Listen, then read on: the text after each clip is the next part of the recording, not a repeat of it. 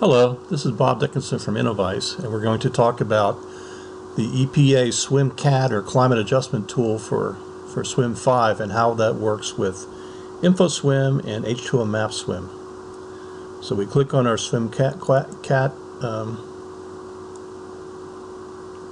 program, and what we do is we give it a location. So I'm going to enter a zip code finds a lat long, and uh, we can de determine whether it's a far term or near term future projection period, whether it's hot, dry, medium change, warm, wet.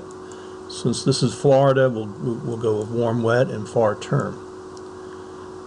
And what it does is it gives uh, monthly averages or changes for um, temperature, evaporation, rainfall.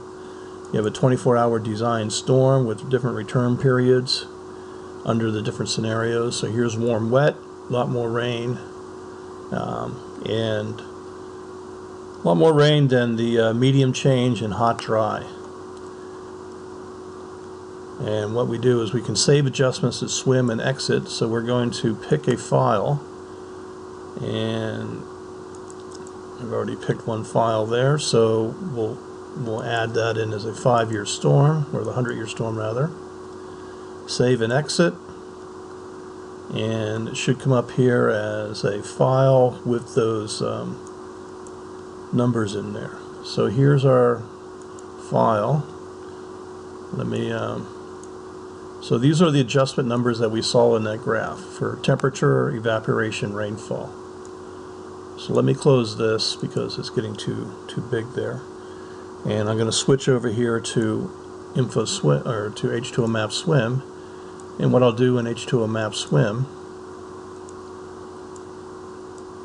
after I shrink the uh, shrink the model, is I'm going to import that file that we just made. So import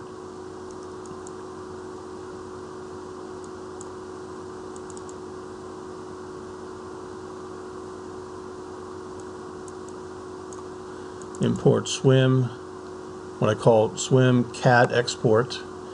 And what we're going to do is, since since InfoSWMM is very flexible is about um, importing data, we're just going to import those adjustments. Nothing else. We just want to get the, the adjustments. So we import that. So now imported. We go to operations, go to climatology, and we look at the adjustments and the adjustments here. So here's what we just created inside of SWMM CAT. The monthly adjustments for temperature, evaporation, and rainfall.